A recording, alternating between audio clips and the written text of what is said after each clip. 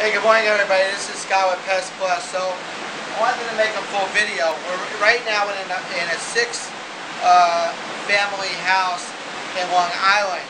And uh, we're implementing the heat technology. I just wanted to show you. So, we have these big heating units and they work with something called glycos. What is it? Glycol. Glycol. And what it is is basically it runs through the system and it's self-contained. And then they have the blowers that are moving the heat actually around. If you look here,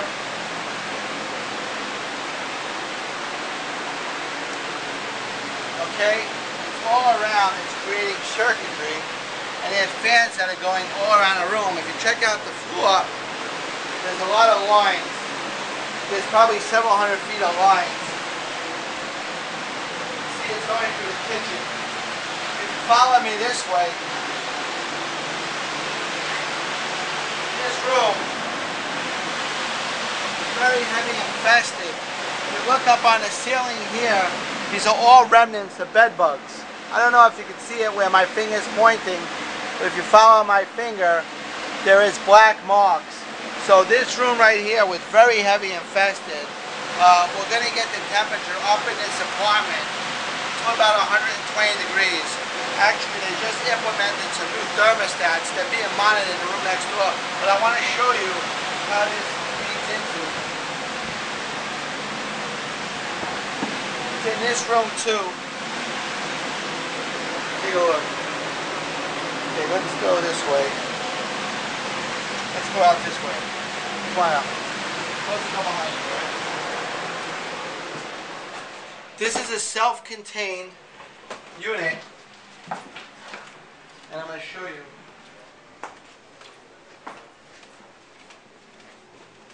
It's being fed out of this machine right here. I could be the spokesperson. You could. It's being fed out of this machine right here. Everything is being monitored. Here are all the temperature gauges. And plus, if you look in back of it, it's a diesel powered generator It's actually over here. Oh, this one don't have it. It's actually running from the other one. There are two units right now, one on the street and one here. Each piece of equipment, just what you're looking here, is about $60,000 to set up. So these are very expensive treatments.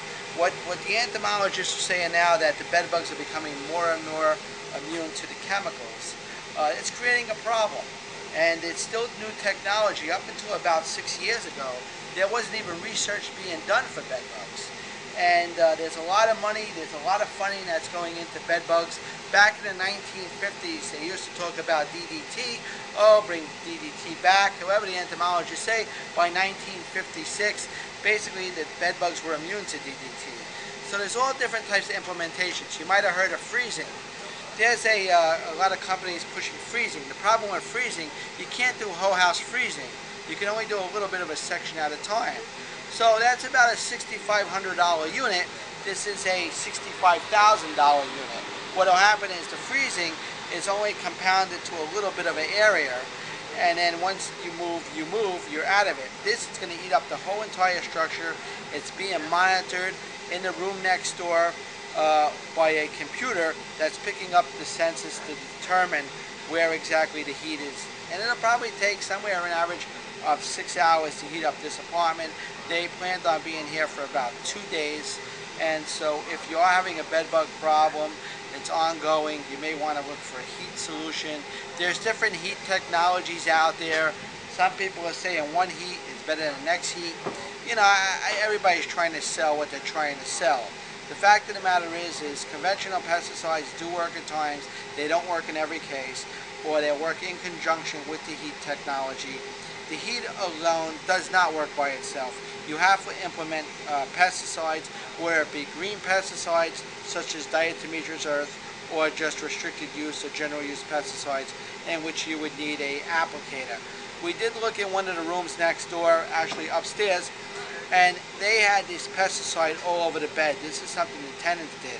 They uh, are using something called Sevin. Well, Sevin is, is a lawn product that you pick up, and it's good for moths. And so, you know, if you're a homeowner, don't do silly things. Don't pick up pesticides that you're not familiar with. Don't think you can sleep in pesticides. Don't think because it's labeled green that everything is okay. Bring in a professional. Let's see what needs to be done. Unfortunately to you, these are cost, very costly procedures to go through, and there is also a limited guarantee because when all is said and done, you know, five months, six months, a year later, you can you can bring bed bugs right back into your house. This is an ongoing problem. This is here to stay. It's not going away anytime soon. And this is the fact that general use pesticides that you're going to buy in some of your larger uh, hardware stores are not going to work. You're throwing your money out. It's not going to be effective. You have to pick up the phone. You have to call a licensed company, and you have to get a company who specializes in bed bugs. Also, keep in mind that any company is only as good as the technician they send out. And if the technician is not fully trained on how to handle, how to determine, and how to eradicate a bedbug problem, it's going to be a very frustrating process. Okay, I'm Scott Linde, Pest Plus, www.pestplus.net or 732-777-6857. On behalf of myself, my partner, and the Thermostar, we'd like to wish you the best and bedbug-free nights. Bye.